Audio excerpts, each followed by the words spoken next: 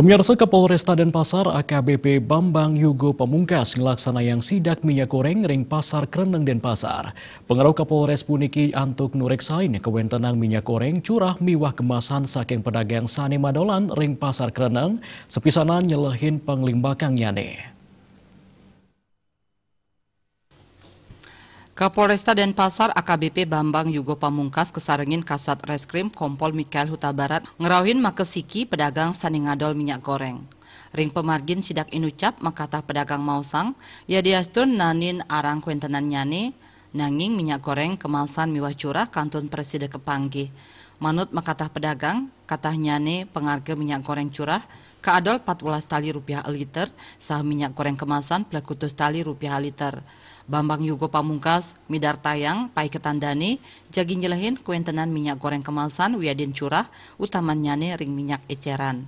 Sadurung Nyane, Kapolri sampun nureksain langsung ke distributor Sanema Ring Benua, Raris nguduhang pun antuk nyelehin kantos ring pasar miwah konsumen.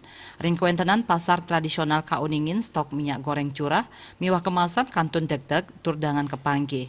Ring pun anut ring arga eceran pinih ageng.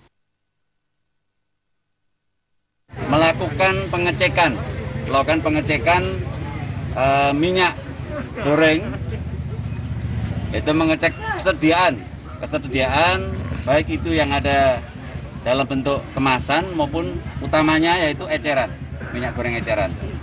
Uh, bagaimanapun telah kemarin hari Jumat tanggal 17 Maret Bapak Kapolri telah melakukan pengecekan ke distributor yaitu PT Star Kemudian beliau memerintahkan untuk mengecek sampai ke uh, pasar-pasar, sampai ke konsumen. Dan saya mengecek di salah satu pasar, di sini pasar tradisional, itu stok minyak goreng curah khususnya.